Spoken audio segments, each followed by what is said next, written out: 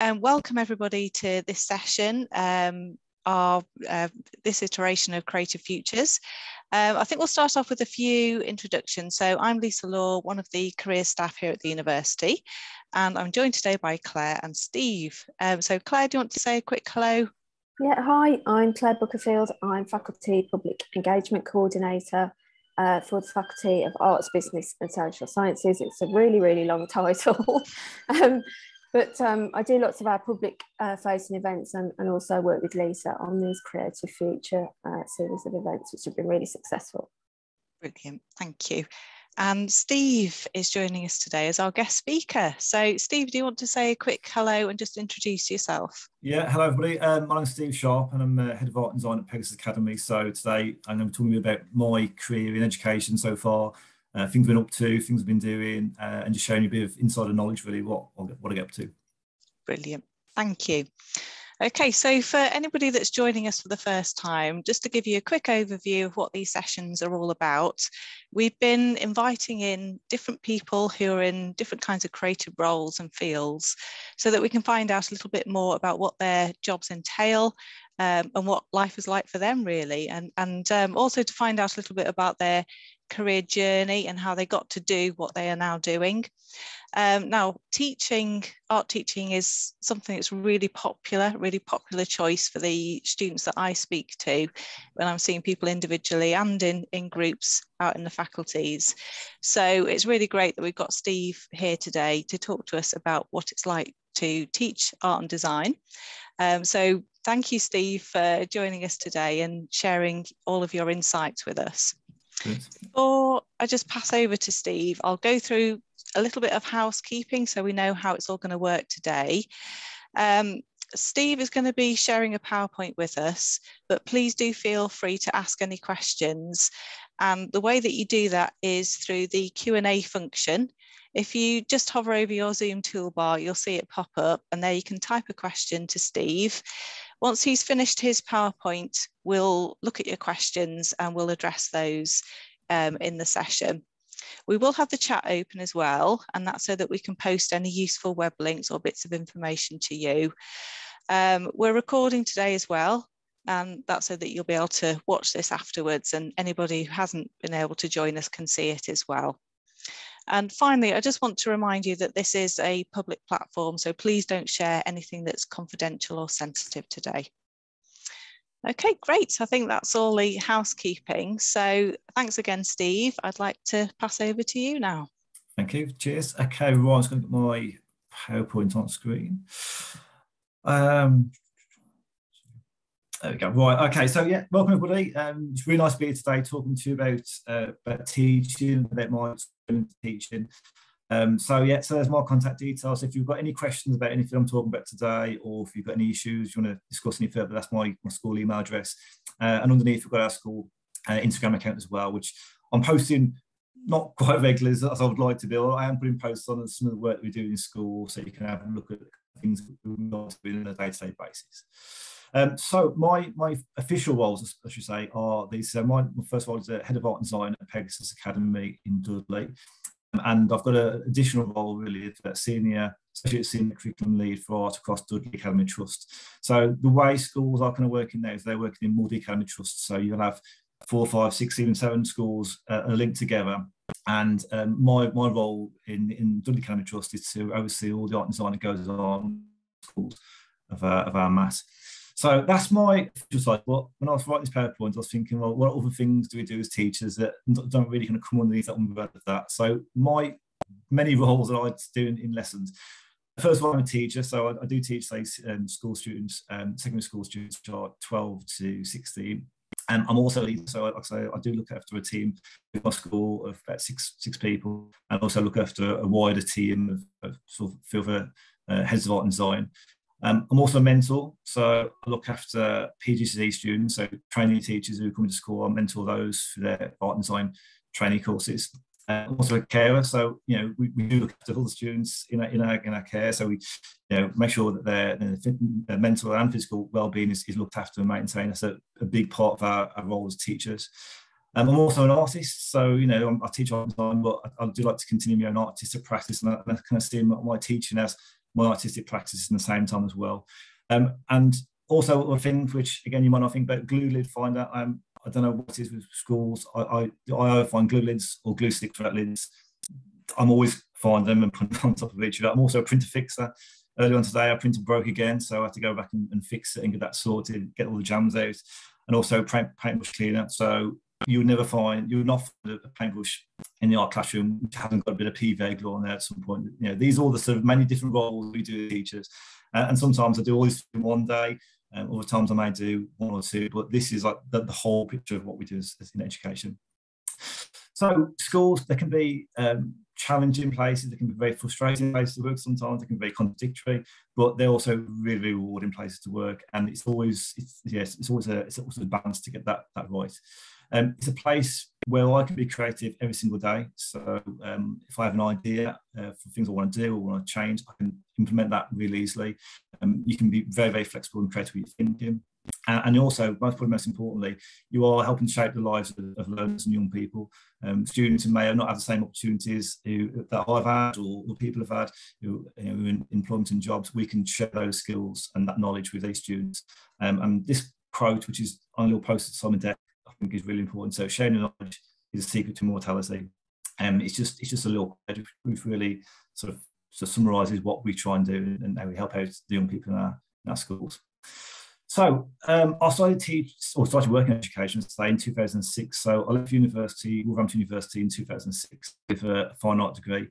Um, and I literally had no money whatsoever. I was quite quite broke. Um, and I bumped into my old art teacher and he asked me if I wanted to come and talk to his students about my practice at college and, and university and all the things I've been doing.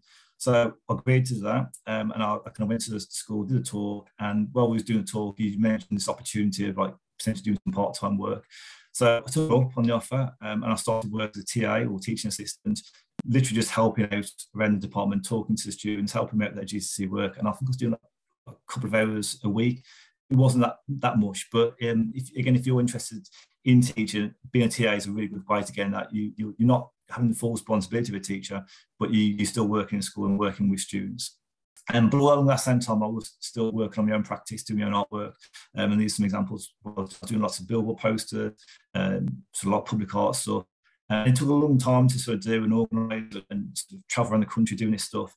Um, and I kind of was getting a bit disillusioned by it, to be honest. Um, I felt like I'm, I'm putting all this effort into making this work and doing these different things but how many people are seeing this and, and what kind of impact is it on, on, on other things. So my kind of thoughts then actually try to develop my you know career into sort of teaching it and, and work in that way rather than trying to be an artist. Um, and so in 2012, 2011, sorry, I started doing my teacher training course. And now there's lots of different ways in which you can get into teaching. Um, I did a pro, I did a thing called a GTP, which is a graduate teacher program. Um, but the most common one you can do is a PGC, which is a postgraduate certificate uh, in education.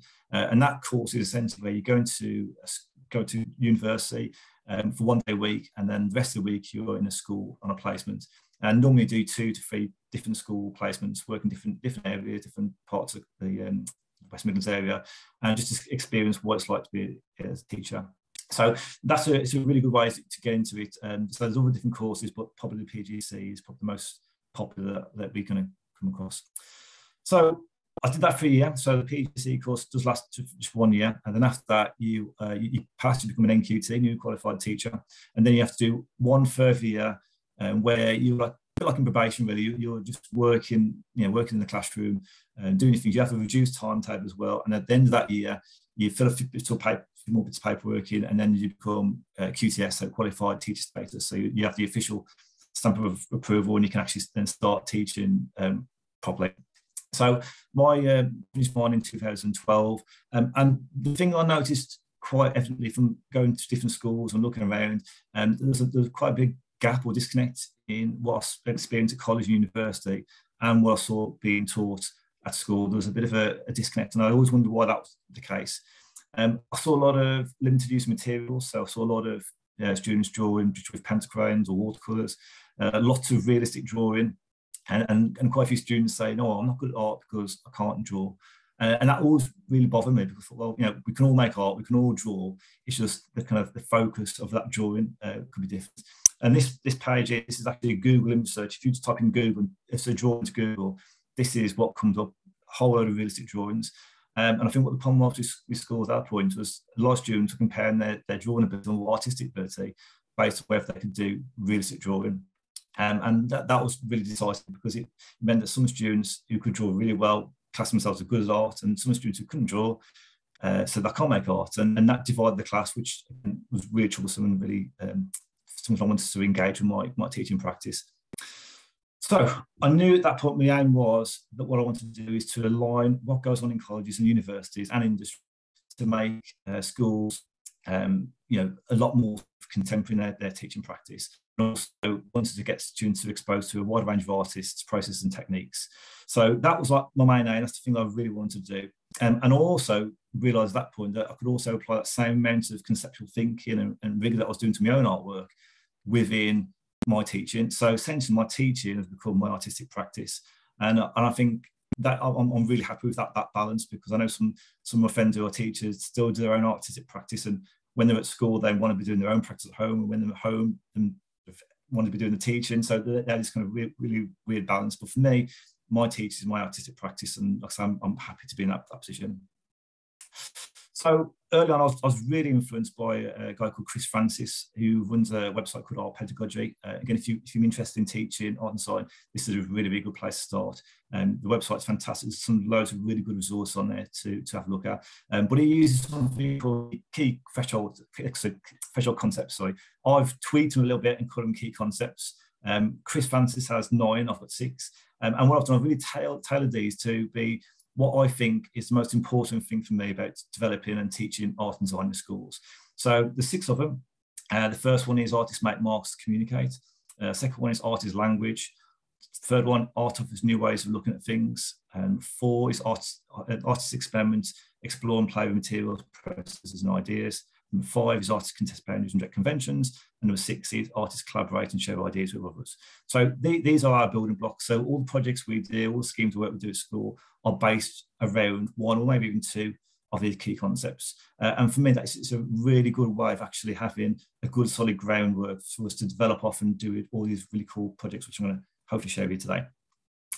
So, like I said, the, the beauty about key concepts, we can develop in lots of different areas. And for me as a leader, looking after lots of different schools, um, I don't want to go to the other heads of department and say, right, all I, want you, all I want you to do is this project, because if that was me, I'd be getting really frustrated with it. So the good thing about key concepts is that they can actually develop a project in lots of different ways. So first one, you could do mark making, sculptures, you could do experimental drawing, you could do graphics kind of a project with this one uh, cave art, prehistoric artwork. There's lots of different ways in which you can interpret that, that theme and develop it into a project.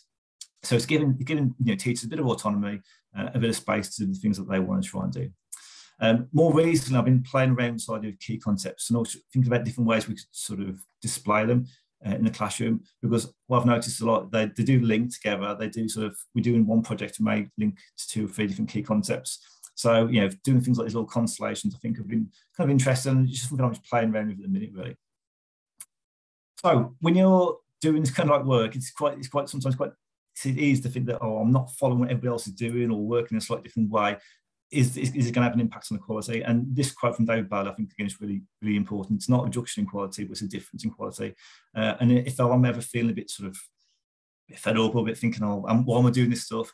I look at this quote and it kind of just realize, yeah, okay, I'm doing something a bit different, but it doesn't mean that it's not not good. It's still kind of good work, but done in a slightly different way.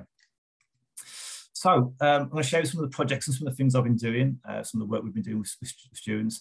Uh, again, these are the key concepts in action. So all them things I've shared with just, these are the, the there's in action. Also a lot of experimental drawing.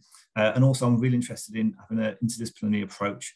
So I'm interested in questioning what the boundary of art is. You know, can, can should there be a boundary to art? You know, what kind of things can we do? And all these kind of ideas are in these projects. So one of the projects we do with year seven, uh, in which we link the first key concept, which is artists make marks to communicate, is we draw popcorn.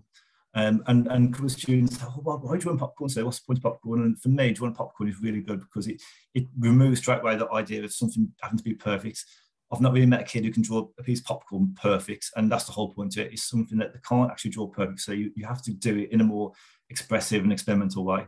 So we do all these different ways of drawing. So we do um, opposite hand drawing, uh, blind contour drawing, um, so drawing with, with, two people at the same time, overlapping drawing. So we do lots of different techniques drawing to just, just get to be a bit more experimental, a bit more sort of uh, creative with their approaches to, drawing, to making artwork. Um, and then what we do, we concertina sketchbooks. Um, I'm a big fan of these sketchbooks because um, the traditional kind where you got like an A4 page and it opens up, I, I, we don't really use those at all. We, I, I, don't like the fact that you can't just see students progress in one line. Uh, whereas these concertina sketchbooks, once you've opened them out, you can see all the work they've been producing. And you can see uh, as it kind of develops and, and sort of changes over time. And for me, it's like a really important um, way to develop um, more sort of recording of the students' work. Um, and, and, again, I quite like the fact when you actually look at these, it just looks like a load of scribbles and a load of sort of weird marks. But then when you talk to students about what we've been doing, say, oh, yeah, I've, I've, drawn this picture with my elbow, or I've drawn this you know, image with you know a weird pen or different material. It all kind of makes sense. But for anybody looking in from the outside, it just looks like scribbles. And I quite like that, that kind of play with what they expect to see in an art lesson and what they actually get different sketchbooks there, different, different examples. Um, and then once we've done the, the drawings, we developed these into little sculptures. So using bits of wire, bits of string, bits of wool, and, and with some like really, really cheap sort of like pound shop torches, we just sort of cast some shadows onto the sculpture and then we sort of photograph them. So again, it's of the idea of, you know, not just a pencil as, as the only tool to make a mark, we can make a mark which is 3D, we can make a mark which is a shadow, we can make a mark which is um, a photograph. So there's lots of different ways of of mark making and capturing that mark making process. And some really, really beautiful, nice photographs. This one was just literally using the sun coming through the window um, in the classroom and just recorded that process. Yeah, some more different sculptures. Students, you know, using lots of different processes, you know, using cameras, using basic model making techniques. And then uh, we get the photographs, put them into Photoshop, and then they can have a play around with experimenting with them in Photoshop uh, exploring different different filters, different effects. And again, I, I really like this idea of layering projects. So they initially started through drawing, then we turned into a 3D mark, then we turned into, into a, a photograph, then we turn into a shadow, then we turn into digital. So this whole load of different skills that are going on within one project. And the 10 project, which links to key concept number four, which is artists experiments with materials and processes. So the challenge for these year 10 students was to make a drawing without using the hands. So we kind of played around with some different ideas and experimented with different ways of working. Um, and some of the students like to create these um, sort of like wire sort of cages in which we hung a pencil or a bit of chalk from the middle, and then the power of the wind would blow these chalks and make really beautiful drawings on a piece of paper. So that was a plan. And then when we did it, it was the calmest day. In fact, there was like no wind at all outside. So we had, had to come up with plan B. We had to go around the school and raid and try and get all the, the, the, electric fans we could find. And then we used these fans sort of on the edge of the desk to blow the, um, the bit of paper to make the marks with the pencil. Um, and I kind of quite like this idea of them quite makeshift, they're not perfect, and just interesting contraptions that we use to make these drawings. And I also like the idea with the fact that this is that we, we add a, like a time element. So some of these fans are left on for an hour exactly. Some of the fans are left on for 30 minutes. Some of the fans are left on for like four hours. And so the time became the point when the drawing was finished. And they're going to quite like that idea of, you know, when is a piece of artwork finished and when is it not? And the one on the right is um, a sculpture which somebody made or drawing tool somebody made with bits of foam board and some like split pins. And they try to draw with that. And again, the process and the, the way of working was, I think, more interesting than the, the final outcome of a, shot of the same thing. And again, we did some really beautiful little, little videos of these, and you know, a bit of chalk sort of bouncing up and down, and some of the marks you you would never ever guess um, by hand. You know, it can only be made in this kind of process. And again, that's what I like about that. That's way of working. I guess chalk. So this was a, a, bit of an offshoot project from this one really, and um, when we was working on this project, uh, which links to key concept number six, about collaborating with other people, um, some of the students were talking about the, the pendulum paintings, which they, they saw on uh, Instagram. And they said, oh, have you seen these pendulum paintings? I said, oh, I have, I'd seen a few of them. They, they look really cool and interesting. And so they wanted to have a go at doing that because said, oh, yeah, actually, we're not using our hands, we're making a marks of pendulum. So yeah, it fits in the project brief. Um, so we started doing one. Um, I didn't have a clue how to do this. I've never done one before in my life, but we had a go together as a group. And the first one we did ended up like that, and it was a bit messy. We had paint was too watery. It just literally fell out the cup and it just went everywhere on the floor. So we thought, okay, we'll try again. As another goes, some of the paint was too thick um, and the holes a bit too small, so it wouldn't go through properly. But the pattern looked kind of quite nice, but it wasn't quite there. And then the third one we did, we we threw the, the little pot a bit too far off the page, which went all over the floor, covered the floor with ink, um, and we missed it totally. And that was end of day one, and we could have like easily given up, given up there and think, actually, you know what, we can't do it. It's going to be too tricky. Um, we're gonna we're gonna have to go again. So the second day, um, we had another go. Got a, a bit more better. We was playing around with the height of the cup on this one and got the cup just the right height, and it kind of looked okay. Then it started to improve, and we got a better one. We missed off the edge of the paper on that one, and then by the last attempt, we got it. We got it right. We got a really good uh, image created. And and what I really loved about this experience, and looking back on this experience for me, the fact that there was no like hierarchy of teacher and students, and me telling you what to do. It was literally was was find out together. I was experimenting, uh, and all of our ideas were like valid. You know, some students said, "Oh, what, what if we move the cup up? Or what make the hole bigger? Or what if we make the string longer?" All these different sort of ideas that they had was coming to the table and we just experimenting with them. So for me, it was a bit of an interesting sort of experiment and different interesting way of working. And I think you know could done in the future again where I come to a lesson not really make, but we're going to find it together. And I think that's a it's a cool, and interesting idea of developing this further. Um, it's another little project we're doing again with year nine. So this again is a like a little experiment really, um, asking the students to make a sculpture out of five objects which they find in the art room. So this one is again it's one of these lessons where they can go off, they just hunt in the art room and try and find five objects. And again, from the person looking on the outside, thinking these are just random objects put together, placed together. Um, when you actually start break this down and, and, talk to students about the work and say, okay, well, why have you picked those five objects? What relationship have those five objects got together? Um, why have you put that in a certain location?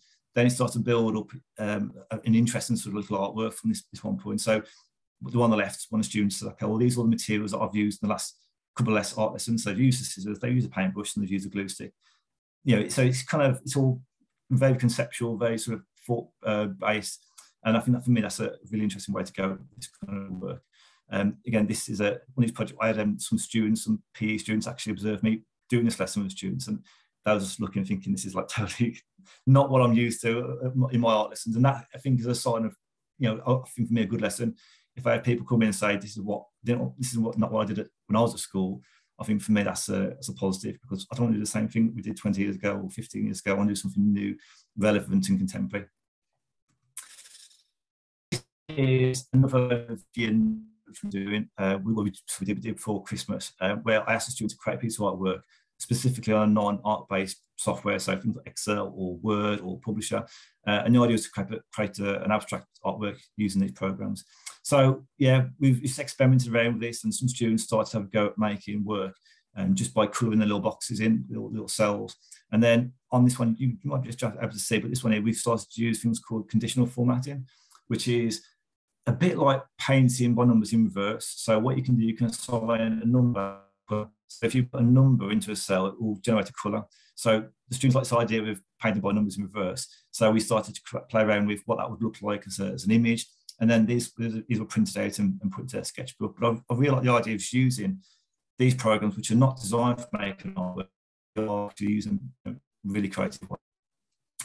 Uh, this one, this, this one girl really went for it. She made really cool, interesting things. She did some stuff on there, which I don't know how to do on Excel, but we were just playing, experimenting, just try things out. And the key concept this links to is number five, which is artists contest boundaries and direct conventions. So we are rejecting Photoshop, we're not using Photoshop for this project, um, all this Illustrator and those, those normal art programs. We're just going to play around with non-art specific programs and see what, see what happens, to what we produce.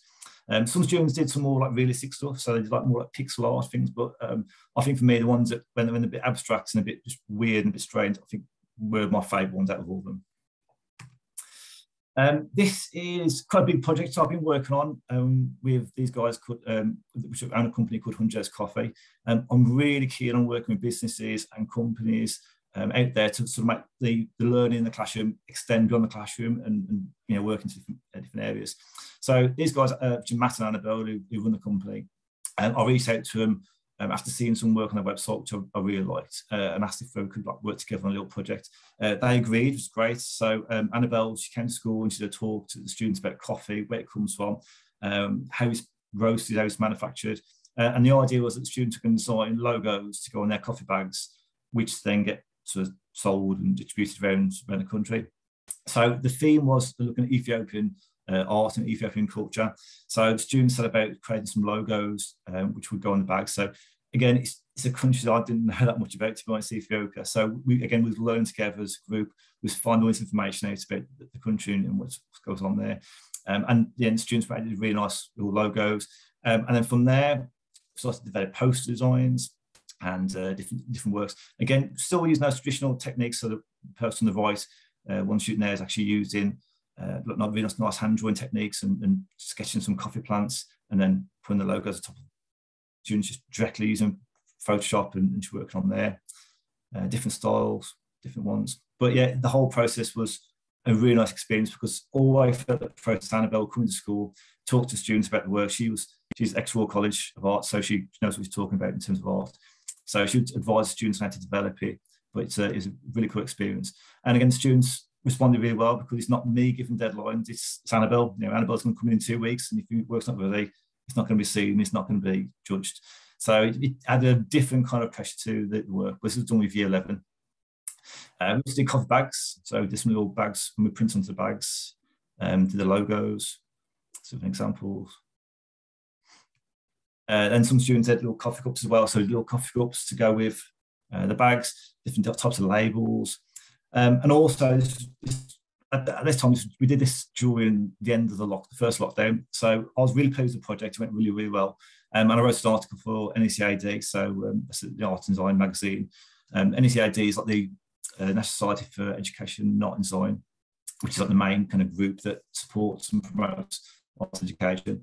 Uh, and they they release a monthly magazine, uh, sorry, a, a quarterly magazine. Uh, you can subscribe to the magazine uh, and have it. But yeah, the, the, article that we wrote actually kind of made into publication, which is really really good. And again, from that we sort of developed the program a lot more. We did some more projects with them. So it's it's really interesting to see that that little project start from something really quite small, then develops into quite a big uh, interesting project. We're actually still working with a company now doing um, something called coffee pour over stands uh, in more like a 3D design project. That's working really well, and we're doing a slightly different variation of the, the logo design project uh, with my year 10s at the minute, actually. So it's it's still going on. We've still got a you know, a good relationship working with each other. So it's a, it's, it's a nice little project. So um, this is my classroom, and, and, one of the highlights of the year for me is, is when we have the end of year art exhibition. So what we do, we literally close down the whole classroom. So the whole classroom, all the normal, normal lessons, the uh, GCSE work on display. Uh, we normally do this for, for the moderator, so uh, he or she comes around and marks the work. But it's uh, again, it's a nice opportunity for students to sort of have a look at uh, like an art gallery style uh, space where we can see all the students' work. Um, and all this work's hanging up is all the design sheets. So again, we don't really use sketchbooks, but we use design sheets, which is on the computer. it's just like a digital sketchbook basically. Uh, and all the work on the table is all, all edit. And for me, this, this is the best bit. You know, this is all those that two years worth of hard work at GCSE, working with students, having sleepless nights, trying to you know get them to do work, trying to you know get them to do things. Um, it all kind of comes together at the end, and we have a really good exhibition. We have all the parents come in and we've also you know, the governors and the staff coming to schools when I look at it. Uh, it's, it's, a really good thing. Unfortunately, obviously because of COVID and lockdown, all those things, we, the last exhibition we did was in 2019. So hopefully, fingers crossed, um, we can have an exhibition this year and kind of get back to normality because it's, uh, it's something I really miss miss doing. So a lot of hard work, a lot of effort, but it, again, it's really worth it. Yeah. And also, when we get to this exam, it's it's really like what they want to do. And, and again, for me, it's not me telling students that you've got to do this. It's like, what would you like to do? And then we, we have a discussion, we have, we have a, talk about it, and then we develop ideas from there. So this piece on the right actually is quite interesting. This one is a sculpture. We took some students to Wolverhampton University, sorry, Wolverhampton uh, Art Gallery, and she took a lot of photographs of the architecture of the building. And she was interested in the idea of how we preserve buildings in the future. So these little plastic domes are, are the idea that these domes go over buildings and they protect them from all different pollution and, and preserve them for future generations. So she was interested in the idea of how we look after stuff and how we look after the local environment. Um, the piece on the left is a, uh, the, the, girl's name, but it's been abstracted and played around with and, and made to really kind of pull up to a geometric sort of abstract image. And again, um, on display in exhibition. But again, it's, it's a so at year 11, I think for me, that's the, the best part of it when we sort of talk to students, say, well, what do you want to do and how it's going to develop in the future. Um, so I've put a few books in here um, of things that really have really inspire me through my teaching career so far, and um, things that again might help you if you if you're interested in working this kind of way. So uh, No School Manifesto is a really good one. Uh, taking a line for walk again, all weird little activities I've been doing, you know, five object sculptures, that kind of stuff comes from these these books, and they're, they're really useful and good ones to look at. Uh, Wicked Art Assignments is fantastic as well um, and learning by heart. So again, if you if you want a, background context to what I'm talking about, all this kind of work, then definitely check these these books out. They are they're really useful. So um, what I've also done here as well, I've put some um, some rules really for, for working. Um, you know, I said rules sounds quite formal, but it's really just ideas, strategies, things that I think I would like to know when I first started teaching which I've kind of developed over you know, the last 15 years or so being in, in, education. So just, just different strategies, some ideas that you can you can work with. So the first rule that I do when I'm working at school is simplify a fraction. And, and what that actually means for me is reducing things down to most simple, most basic sort of elements that I possibly can. So if I'm doing a worksheet for students, I'm not overcomplicating it by having loads of information there. I make it really simple, really straightforward, so that you know message if I'm doing PowerPoint, I always think in the back of my head, okay, well, I'm going to just have a maximum of 30 words in the PowerPoint and a few pictures. And it's just making it as simple and straightforward as possible. And by doing that, you're not sort of overcomplicated situation and making things difficult for yourself. So simplify the fraction is a, a really important one for me. And the next one is Think Punk. Uh, and what I mean by this is adopting a DIY aesthetic. So um, I'm a big believer of not just waiting for something to happen, is just going out and doing it. Um, one of the reasons why I'm doing this talk today is because I, I emailed uh, guys at Wolverhampton University and asked if we could do a talk, and they said yes. You know, just putting yourself out there, you know, having a go and just trying things. It's, it's you, you're surprised what things happen, and I think in education especially, um, you have got so much autonomy of how, how you want to do things or how you want to teach art and design. Um, you, you can do it in lots of different ways, um, and it's up to you. So you've got to go out there and just have a go and just try it out. Uh, next one is questionnaire nothing is sacred. Uh, and like I said start, really, you know, sometimes um, teachers don't really question what's been gone on before because it's that's what you get. So these projects get handed down to you from the old art teacher or somebody else, and you just deliver them, carry on delivering them. But sometimes it's nice questions like, hey, why, why are we doing? Why is there a big focus on realistic drawing or observation drawing? Is there, is there a different way of doing things? We're going about it, and just by just stepping back and just looking and observing and questioning why we do things, you can actually then see other paths other ways of, of doing it. So yeah, question everything, nothing is sacred. Uh, be visual. So when doing PowerPoint, when doing work, um, yeah, make it as visual as possible. I think for me, it's, it's, the best and easiest way to get your message across to students. Um, if you show a picture, if you show a reference to something, uh, it's a really clear and, and, simple way of communicating your ideas. I do a lot of my um, feedback marking visually. So if, if a student asks me something, I'll, I'll draw a picture of it or or if I do a good demonstration. And as long as I'm signing that with my initial so that the student doesn't use it, then that's that's fine. And that gives them a bit of feedback and they can actually see me doing the thing that I'm asking them to do, which is again really useful. Uh, don't pressure your ideas. Ideas are free. Um, I think people who, who, struggle with generating their own ideas, what tends to happen is they'll, they'll have an idea and they'll hold on to it really tight and they'll let go. Um, and I think creative people, people who are good at generating ideas, have lots of different ideas, and then I'm quite happy to sort of kind of throw these ideas around. And if one of them works, great. If they don't, then they just come up with some more ideas. So yeah, don't don't be worried if one idea doesn't work. You'll have another idea real soon. It will come up with something, um, and you can develop your work in that way. One is uh, be open-minded. So it's really important to sort of be open-minded, try things out. I'm, I'm constantly trying new things out even even though I'm like sort of six or 15 years into my teaching practice, I'm still interested and, and willing to try new things out and see how things go. Um, and again, if things go wrong, really matter too much, you can always backtrack and, and, and, change things later on. But you know, think of it as a, as a not failure, but as a, a learning opportunity. So that was my sixth rule. So again, that might be helpful for you guys if you're thinking about doing a career in, in education. Um, so what's next for me. So things I'm interested in, things I'm doing, things I'm new interests I'm working on uh, at the moment. So one of the things I'm really keen on doing at the minute is experimenting with art and science. Um, we got donated a 3D printer from Wolverhampton University um, a couple of weeks ago now, and uh, the um, the guy who brought it over was, was talking about art and science. And we was just having a little conversation about that, and the, that kind of spurred me to sort of start thinking about Um, could we make drawings with machines or with robots or with your unusual processes? Uh, and again, it's this idea of having an interdisciplinary practice, questioning the boundaries of what art and design could be. Um, and the bottom one there, bottom right hand corner, was actually my attempt of actually making one of these drawing machines. Um, we've got a laser cutter at school, so we had to go laser cutting out one of these things. Um, hopefully in the future we can get to, to do something like the, the bigger picture or they want with the turntables. But that's kind of the thing that I, I want to sort of play with next is how can we actually make these things which actually spin or rotate or make a make an image. Um, you can buy some really cool little turntables which are used for photography based things. I've, I've, actually bought some of them recently, and we're going to uh, play around one of those trying to make some of these images. But yeah, linking art and science is, is a cool one.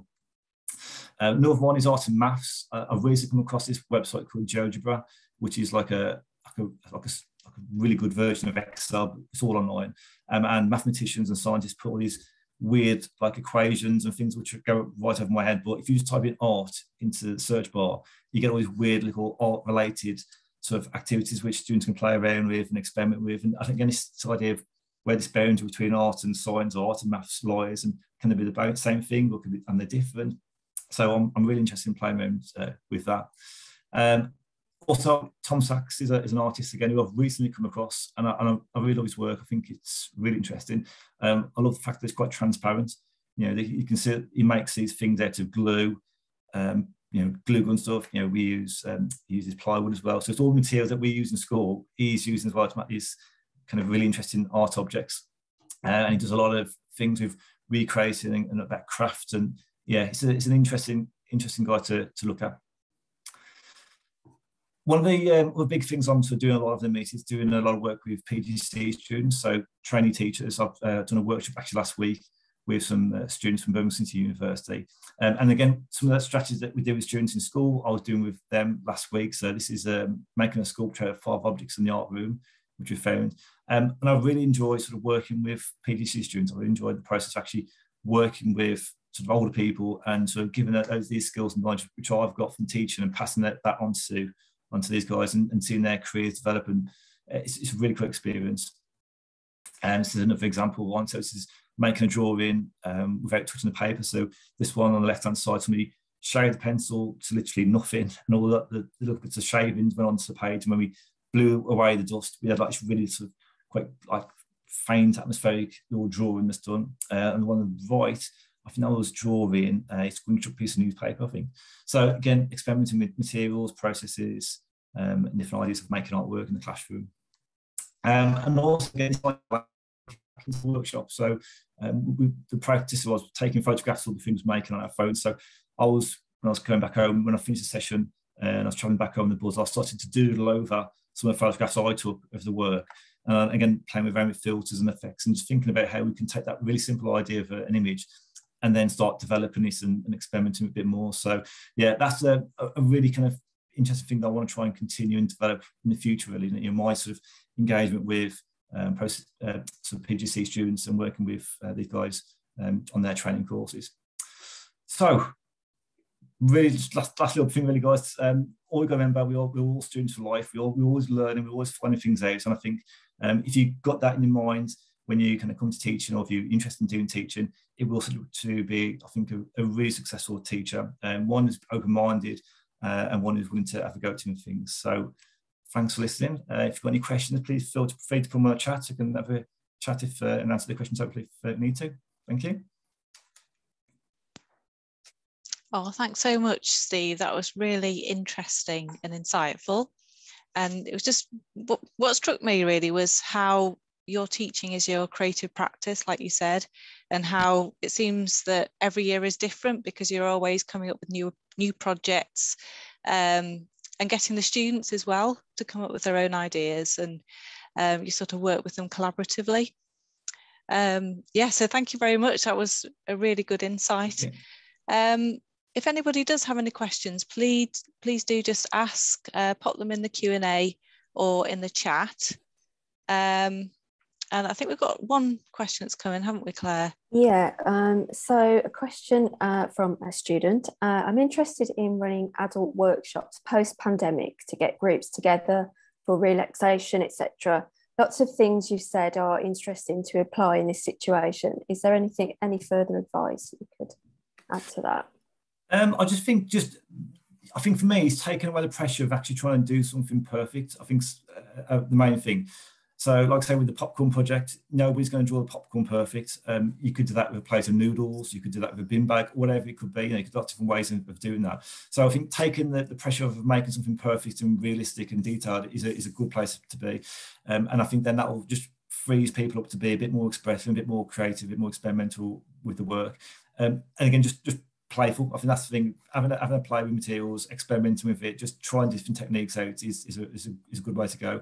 And lots of them books, uh, probably I'd say the best one probably that Wicked Art Assignments. There's lots of different little activities in there which you can actually read uh, and then sort of develop into a little workshop for, for adults. Um, like I say, I've done a similar kind of activities on with students in school with uh, PGC students, and they've kind of worked quite well. You, you get this kind of like, like a strange look on the face, thinking, "Why am I doing this?" But when you explain the context and the background, and they, they soon get into it, and it's a, it's a, it's a good way to work. I think what strikes me is that um, everything you said about what you what you teach and your your methods and your processes from from someone having also done a, a degree in fine art what what you're doing seems like such a great starting point to then for, for further education to to then go on to your, your degree I, what I, I just really like what you're doing and and and how you're what you're doing is sort of getting people to to think very differently yeah. I think that it's just a comment really yeah. more than a question but I, it just it just strikes me that what you're doing is really really interesting and what you're getting the students to do is um, is very much a, the same kind of thinking that that we get at university and i think yeah. that's that's just a really that's just really lovely to see that's so I refreshing think, yeah i think that was the issue when i said when I, when I first started to teach i just noticed this massive gap between the two things and mm. and yeah i still see it a bit when i go around the schools and have a look around and, and see them doing things in a certain way and i think sometimes it's if you just like just challenge yourself a little bit it's actually right, when i want to just try this different activity just see how it goes and and, and to make us from there but I think sometimes some people teachers think we're so restricted on what we do, and we're not really. We have got a lot of freedom, a lot of flexibility to do things in the way we want to do. So yeah, like I said, you know, it's about questioning stuff, stepping back, thinking why are we actually doing this stuff, what purpose has it got, and also how is that student, if you're teaching say observational drawing and you're drawing, I know say a shoe, which is like one of the things most people do, what skills in there are going to lead on to that student being able to be successful in their in their own right later on um, or what kind of experience do they get from drawing that show if it's not a, a good one or if it's not uh, not much merit there's no point to do it. Doing something a bit different. So it's yeah, it's about lining what's going on. And also as well, we don't want to be giving students um, a massive gap when they go to university or college to sort of try and mm. to try and reach. You know, um, if, if we and again, I work a lot with, with colleges. It's making sure that what I do in school links what they're doing, so there's like a, a seamless, seamless transition from one to the other. Um, obviously your practice is very interwoven within education and your job, but um, do you ever get the chance to exhibit yourself or do you collaborate with other artists? Do you ever? Um, I used to, like when I first started, I used to do my own art projects, but I just became a bit sort of like disillusioned with it. I just thought, well, I didn't really see that many people, many people sort of like viewing this stuff, and and also teaching is like is, is a really sort of time intensive job and, and it doesn't really mm. leave time for doing other different things. Um, but I think for me, I'm happy with that, that balance of actually doing um, my own teaching practice within you know, within uh, education, and that's what a lot of artists did. Like in the 60s, there's quite a few artists who who did that. Um, fed up, got fed up with their, the, uh, with their own practice, and then went into social work, went into education. And I think for me, I can have much more of an impact on on people and and where they, where they think through at this rather than sort of making artwork which only a small group of people people uh, can see. Um, and I think that's that for me is where I, I really enjoy being. Uh, I think in the future, I mean, again, you know, doing things like this really help, and I enjoy sort of you know sharing the you know knowledge about teaching with other people, and it's it's yeah, it's just a different side shoot of what art education is all about. And I think some people think well sometimes that because you're a teacher, you, have kind of like sold out, or you, are not a proper artist, and I kind of hate that kind of that kind of viewpoint. I see what I'll do as a serious professional job, and, and you know, against another another sort of part of the constellation of what art and science all about. Yeah, no, that's a really nice way of putting it. Um, so we've got a lot of thank yous here, which is really lovely. Okay. Uh, and one from Euripides, who's a um, photography lecturer, and he said, "Thank yeah. you, Steve. We need more teachers like you." And I totally agree with that. Um, So, um, how was teaching in lockdown? Could you could you expand a bit on that? I know you, you sort of touched on it earlier. Yeah, very very difficult. So, I mean, again, for for our kind of subjects, art and design, where we were, talking about objects and things and different things. It's, very tricky to do. So we did a lot of online work. We did a lot of sort of workshops, um, live lessons. Um, and I was keen. I know, I know, I know. Quite a few people were doing this kind of stuff where it was like a, a Bob Ross style kind of. I do a bit of painting, you do. I, I wasn't going to go down that route really with my way of working. So we do a lot of activities where we asked students to sort of do things like what we shared with you know, like doing little mini exhibitions of objects or doing um, workshops, uh, doing little activities where students make artwork out of food, uh, recreating artworks with food. So lots of different kind of creative, fun things. And I think for me, it, was, it wasn't about sort of saying, okay, well, we're going to continue where we, we were before and just do the normal work. You're saying, okay, well, this is a different situation to school. So let's just go with that different situation and do something a bit different, a bit more, so, you know, experimental and a bit more, a bit more fun as well. So for us, it was quite difficult, but yeah, we, I'm glad we're back into the normal classrooms now, normal situation, mm. um, which I think uh, is the best place to be. Okay, thank you. Uh, if you've got any more questions, pop them in the chat. Um, Lisa, do you have any? Yeah, I was going to ask you about your workload actually, Steve. I've heard that teachers have a, a massive workload because it's not just the in-person delivery with the students, but there's all of the marking and making sure that you're ticking the box for Ofsted and probably countless other things as well. So, so what's that all like for you? Yeah, I mean, you know, it's again, there's this misconception that I think teaching, you know, you get, you know, you get your Easter holiday and your Christmas holiday and your summer holiday and, you, you, you finish at three o'clock. Yeah, we do work those hours, but within that, after that time, we are working, we are doing things. Um, it is this is quite a, a big workload of, of, different things you've got to manage. But I think if you do get the balance right and get the balance in your favour, it does become a lot easier.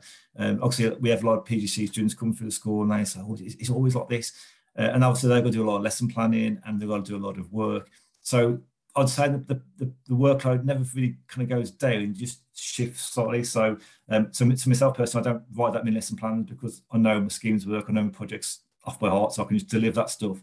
But I do a lot of sort of quality assurance stuff and a lot of uh, observations with people, and obviously all my mentoring roles and all that different things. So my workload has shifted from planning a lesson to doing more of a managerial sort of leadership role really within within um, school. So yeah, it never really goes down, just sort of stays the same. But but for me, it's, it's something I enjoy doing, and I think if you enjoy doing it, um, it's important, and it's not it's not it's never going to be a job where it's like a nine to five you come back home at five o'clock and you forget about it it's, it's never like that it's it's continually developing sort of practice and i think you know many times i've been out somewhere and i think oh i've had an idea for doing that and i write it down and then i kind of act on it later on so you, you kind of constantly in this kind of i won't say working all the time but it's you, you are you know it's in the back of your mind sometimes that you've got to do this but it's if you enjoy doing this i think that's it's not hard work really and that, for me i enjoy doing this and I, I like how it works. Mm. Yeah, it sounds like you're really passionate about it, mm. and it's something that sort of flows through you right yeah. the way across your life, really. Um, is there anything that you do find quite challenging at all? Yeah, I mean, like I said, there is there is challenging bits to everything, and I think sometimes the challenging can comes from a lot of time the fact that you are working with with students who are can be a bit unpredictable and a bit of I mean like today today is really wet and windy and today my year 11 class were just really just, just you can see those just not focused at all um, that can be challenging that can be you know just, just sit down and get some work done. Yeah you, you can you, you really sort of trying to do the things you ask them to do. Um, but in that situation then you kind of think actually right let's just stop what we're doing. Let's just say right let's we need to be focused we need to be working. And it's just using that professional judgment really. If you, you know when the student's not working on task or when they're not, not doing the things you want them to do. So you just got to step back and say, right, let's have a break, let's go for it again in a different way. So that that can be quite quite challenging. And I said, you know, if, if you don't get the balance to the workload, stuff like that can be challenging as well. Um, I've always kind of um, tried to do as much work as I can at school so that when I come back home at night, I haven't got to do that much. Um, although I may do like little bits and pieces. But again, it's, it's, kind of getting a balance that works for you. I think for me, that that worked. But I know all people who like to leave at three o'clock and then they do a lot of work at home. And then, you know, that if that works for them, that's that's fine. You've got to do something that works for your lifestyle and the way, way you like to work. Um, so yeah, just it's um, it, yeah, there is there is challenges, there is, but I think the, the, the good parts, the positive stuff, definitely outweighs all, all the negatives. Um, I mean, I remember one one situation we had uh, one lad who had a lot of uh, learning difficulties, lots of issues going on. He, he was he was struggling um, reading writing, um, but he loved drawing, loved making artwork, and he was one of these kind of kids who, who never really got noticed um, with his peers in school. They knew he was there, but he, he, was just kind of got part of the crowd. Um, and uh, he come to art once. He did a uh, did a picture with uh, some chalk, um, and we're going to do like large scale uh, drawings on cardboard, old cardboard boxes, and we framed them up in some cheap IKEA frames that we bought, and then we got him to. I showed him next, went to next the classroom next door to me, uh, and I said, "Oh, go, go and show your work off. Go and see, take it next door and show the teacher next door." And we took it in, and he showed all the kids, and all the kids started looking, and so all clapped him, and I just felt like I was so proud for him the fact that he, he kind of got got this work done, and he went from a kid whose head was very not this pretty much most of the time to head up and his shoulders back and he was you could see he was so proud and everybody knew him for his fantastic artwork rather than just being the kid who you know nobody really talks mm-hmm. to. And, and that for me was one of the most important sort of points really in my teach. I think that that's what I need to be doing more of. So if I have a student who makes a little piece of work, I say, I'll go and show Miss So and so or Mr. So and so, go and go and show it off. And that that just does like so much so much good for students and their, the confidence and the morale. It's it's, it's unbelievable. Yeah, I can imagine that was a, an amazing moment. And if it continued afterwards and helped him sort of long term at school to yeah. Make friends do, and have yeah. Yeah he went on to do GCSE then we, we going through GCSE and he, like I say he went off to college and did it as well. So it's yeah it's, it's really nice when you get students like that who who do you know grasp it and like say well I'm going to go and take up as a career or pursue it a bit further. And uh, I think yeah it's a really nice experience. Um, I mean another experience as well I, we had was um, a girl a couple of girls come through from um, from middle school. They came in and they again, normal happens. You get you get students who come from other schools moving around, um, and also you've got to try and integrate what they've done in previous schools into like your way of working, so that they can get a GCSE sorted out. And I remember they came in, they brought these really beautiful sketchbooks of drawings and, and, and pictures of plants and things. And I was flicking through, looking for the work, and I said, "Oh yeah, it's really nice." And um, we, we sorted out a plan for what they wanted to do to develop that project forward. Um, and they carried on doing that. Then literally like two minutes later, I was cutting a Barbie doll in half on the bandsaw for a new student. I remember the, the one girl who, who we spoke to, she was looked at me thinking, this is just totally different to where I've come from before. And it was like, what is going on here? Um, but that's that's the nature of like what we do. You know, it's, it's, there's no material, no processes are off the limit. It's just just fully on experimenting. And and what I was really proud of that that girl who came with these beautifully neat sketchbooks. She ended up doing some really cool animations, and she's like a big like installation in the art room, which is still there actually now. Um, and again, I, we, I, was glad that we kind of got it from being doing very tight, detailed drawing to something a bit more free and expressive and, and creative. Mm-hmm.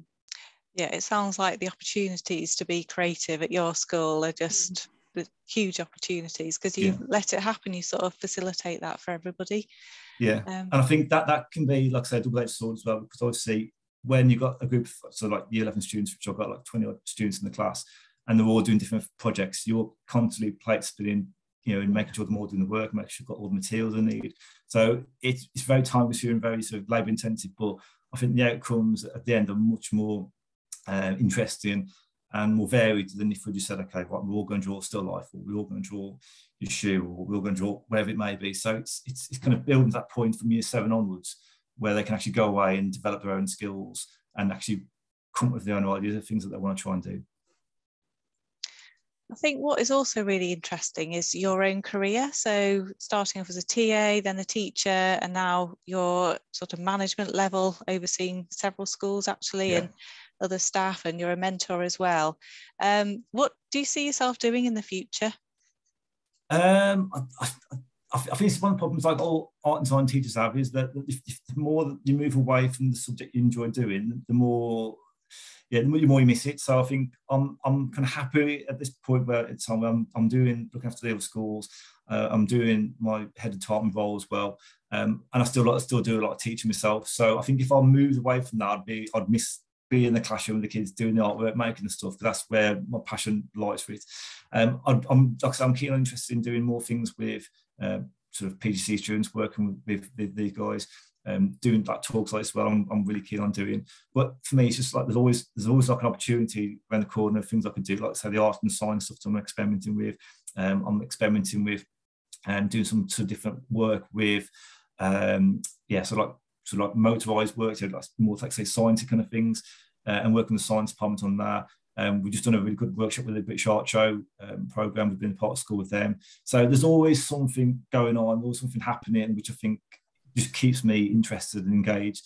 I think if I come to a point where I just got bored and got fed up, I, that's the time to me to say, oh, I'm going to leave, and I'm going to do something different. But look, there's always something around the corner uh, for me to work on. Do.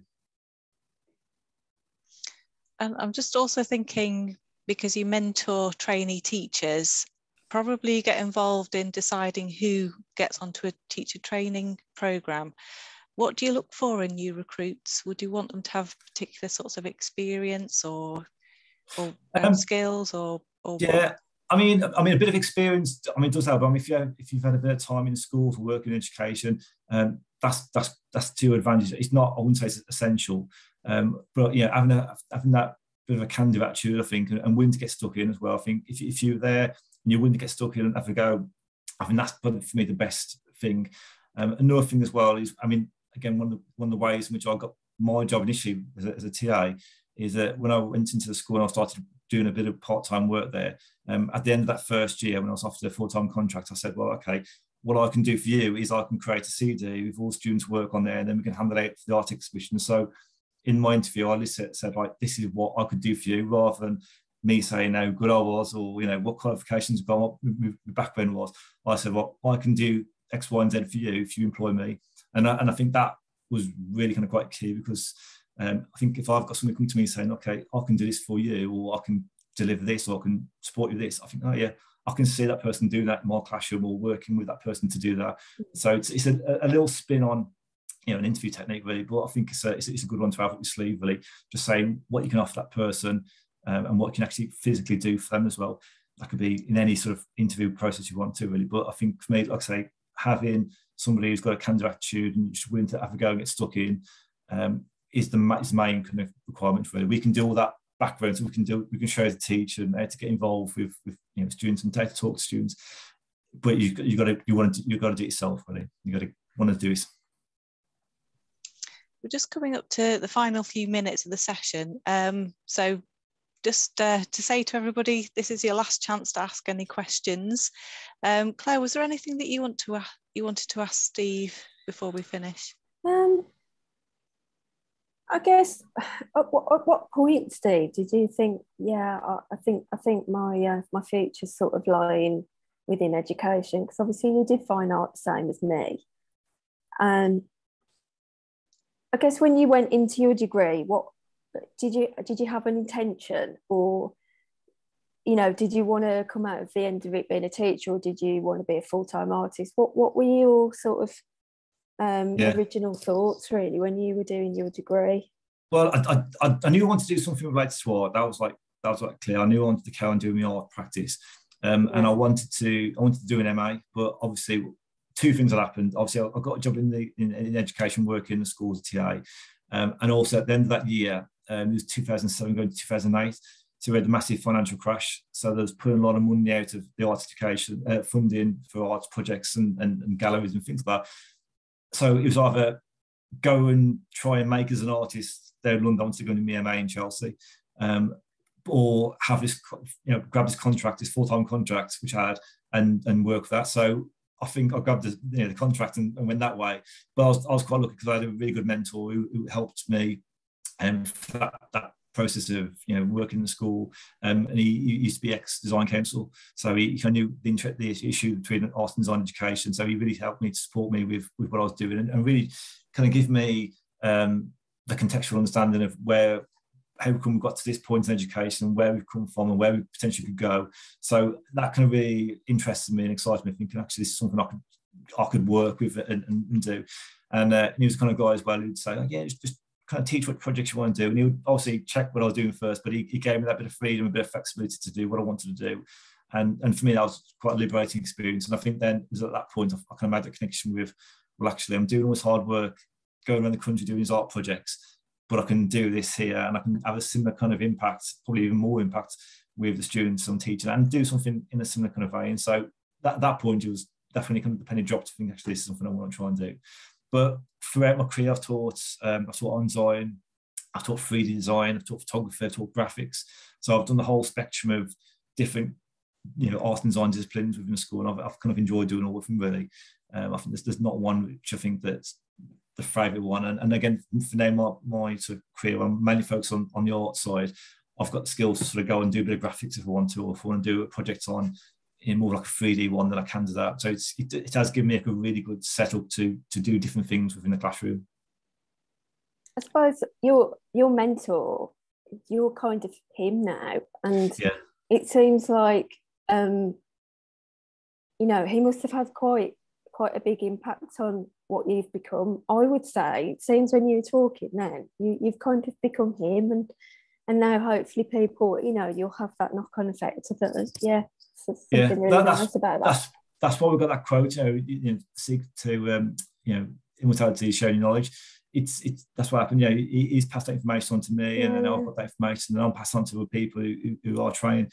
So it's it's like it's continual process, and and I always want the trainees I work with to be better at teaching than me. And I think if you've got that kind of idea, and then some of them have been better than, or hopefully will be better than me in the future. Um, and I think if you, I'm, I'm always kind of conscious of trying to give them as much as I can uh, in terms of time and, and, and energy we're getting their practice right. But I think when you, when you get it right and you, you're in the classroom and the, kids are working with you and you've got some making some really cool work, it's like the best, mm. it's the best feeling ever. You know, it's, it's, it's, really, really good. Um, so yeah, so yeah, I'm, I'm really thankful for Chris for his mentor, who you know, to helping me out and supporting mm. me with that. Um, and, and just give me that knowledge really, you know, of, of, of, saying to me, yeah, you can question stuff. What, you know, why, why, yeah. why are we doing this work in a certain way? Could you do it slightly differently? Could you do it like this? Could you do it like that?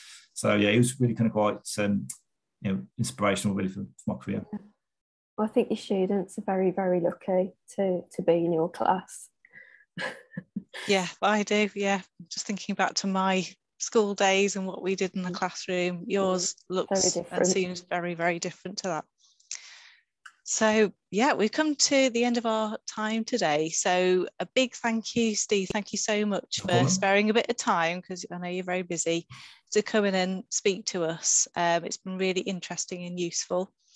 Um, and for any of the students that are joining us today, if you are thinking of getting into teaching, there are some quite specific things that you need to know about teacher training pathways and how to apply. And what I would recommend is that you get your personal statement checked. Um, so the career service can help you with that. Um, and if you'd like to book a, an appointment, you just need to go to our web pages. So it's the university web pages forward slash careers and then you can access our support. Um, and in terms of creative futures, just thinking about what we, we've got coming up, our next session is a big one actually. We're doing something on campus in the new screen school. And this is going to be on the 1st of April from 9 until 1. And we've got a, a fantastic programme of about uh, six guest speakers coming in to talk about their careers in um, areas such as visual effects, games, animation, TV, and videography. So it, will be a really good one. Uh, all you need to do is, is book your place um, because places are limited with it being on campus. Um, and yeah, you just need to go to our usual web pages to do that. Yeah, I'll pop the link in the chat. Sorry, my computer is very slow. The weather is not compatible with the internet at the moment. Um, I'll just pop that link in the chat um, yeah, booking is essential for that um, because places are quite limited. Uh, there we go. Okay, and then after 1st of April, we're reverting back to Zoom. We've got a few more sessions planned for that as well. So uh, check out what we've got coming up and sign into anything that interests you. So thank you all, and we'll leave it there for today. Thanks, thanks, Dave. Thanks, everyone. Thank you. Bye. Bye. Bye. Bye. Bye.